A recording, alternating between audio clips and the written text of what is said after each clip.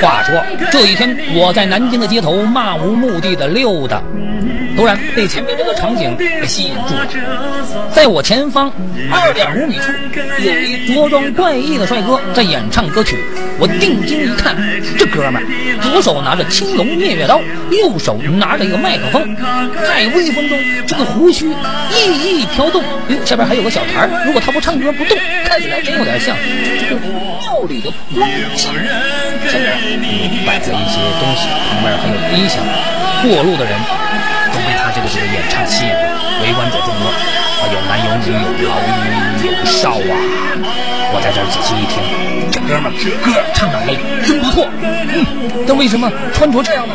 我四处一打听，旁边休息的王大爷跟我说，这哥们儿是来自江苏周边的，据说十年前还是个百万富翁，可是后来的几次这个这个这个创业都以失败告终，每次都破产，他就自己给自己封了名字，叫破产哥。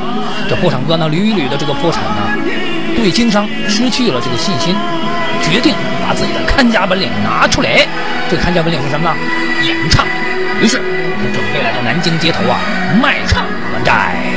今天据说是他第一场演出，也就是街头演唱会，感觉还挺成功。为什么呀？围观者很多，不过的人多，看的人多，听的人多，但是呢，出钱的人不是很多。不过不管怎么说，只要有围观者，那我就差不多。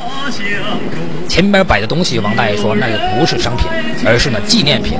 就说呢，每个听演唱的朋友，如果赞助出资，别说的那么好听，就是他是卖唱。当然，如果是买唱者，如果抛了钱，他也不能让你空手而归啊。前面的纪念品自取。哦，从这件事看起来，这个光公卖唱歌呀，也就是破产歌，还是。